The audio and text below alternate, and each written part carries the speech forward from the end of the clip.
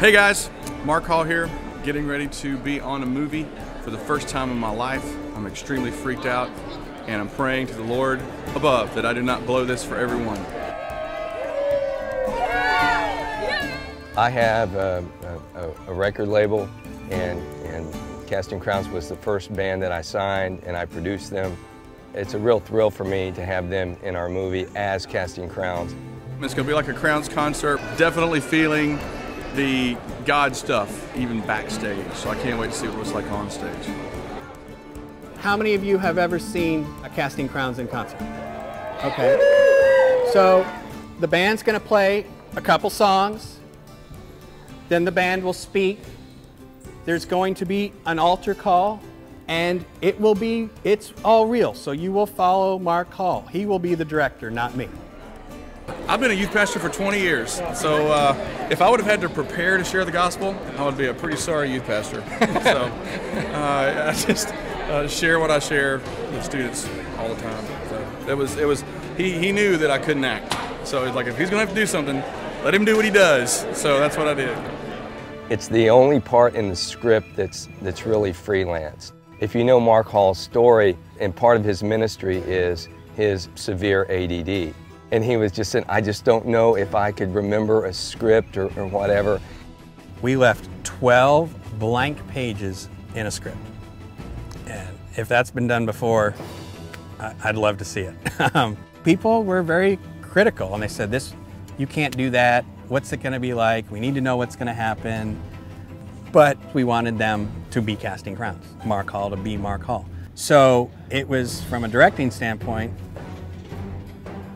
handing Mark Hall the microphone. And let's see what happens.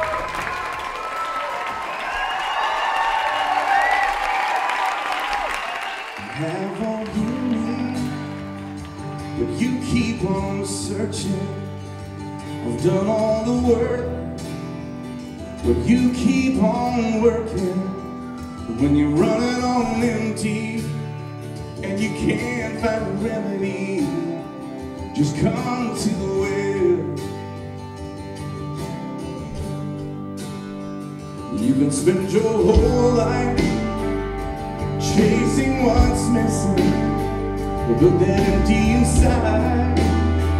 You just ain't gonna listen When nothing can satisfy And the world leaves you high and dry Just come to the well After they perform a couple songs, just like at every concert that he does, there is an invitation.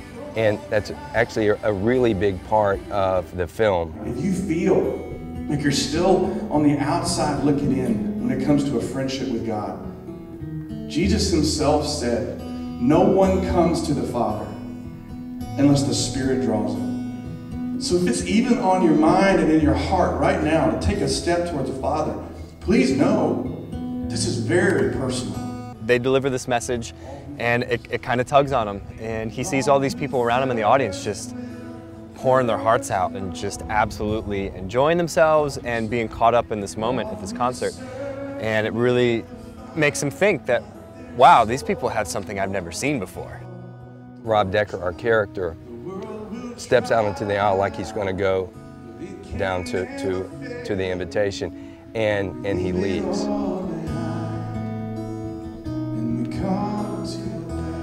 When you watch how it was shot and, and how much of an experience it was for those people in that theater, it was, it felt nothing like a movie shoot. It was beyond.